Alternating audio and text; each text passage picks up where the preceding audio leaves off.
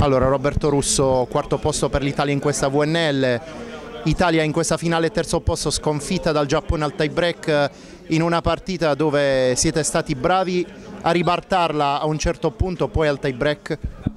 Sì, c'è un po' di rammarico per delle occasioni, oltre al tie break eh, anche il secondo set che l'avevamo in pugno e poi un po', un po di episodi no? ci hanno, non ci hanno favorito, però questo, sappiamo che questo è il livello, eh, giocare col Giappone, ieri con gli Stati Uniti dobbiamo alzare l'asticella perché con squadre del genere ci sta che si fatica, però dobbiamo essere in grado di rimanere in partita, sempre nonostante le difficoltà, quindi questo qui è un, eh, è un punto da cui iniziare per tutta l'estate.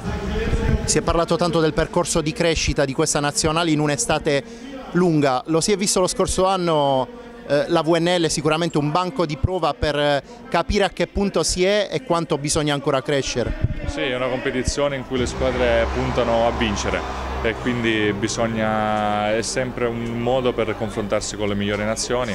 L'abbiamo visto, queste finali sono di un, livello altissimo, sia la finale anche il terzo e quarto posto stasera è stato alto livello, quindi dobbiamo, dobbiamo ecco, rimanere rimanere umili, continuare a lavorare perché la strada penso sia quella giusta e possiamo fare belle cose. Dai primi giorni di lavoro come valuti questa prima parte di estate di squadra e tua personale? Ah, sicuramente di squadra siamo migliorati c'è ancora tanto su cui lavorare, però ecco, penso che ci siamo. Personalmente sto bene, quindi cerco di dare sempre il mio contributo alla squadra, cercando di dare sempre il massimo.